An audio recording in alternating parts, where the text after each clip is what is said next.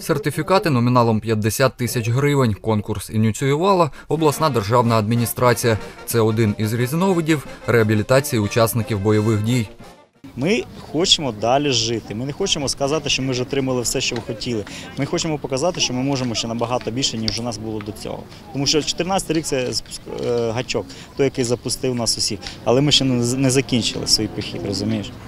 Сертифікати на одноразову грошову допомогу отримали 20 чоловік. Перед цим вони проходили навчання з бізнес-тренерами, розробляли бізнес-проекти. Учасники проекту обирали різні сфери майбутньої діяльності. Це і зрощування овочів, вирощування зелені і розсади, ну, овочівництво, так будемо сказати, на присадибній ділянці і реалізація на місцевому ринку. Ну, площа теплиці буде десь 40 квадратних метрів. Плануємо поставити на власному городі, поки почати, а там, як кажуть, як Бог дасть, серед бізнес-ідей розведення перепелів. буде закупатися е, молодняк. Молодняк, е, але в стадії вже е, не- несіння, так, е, в стадії е, яйцекладки, спроможності яйцекладки. Так.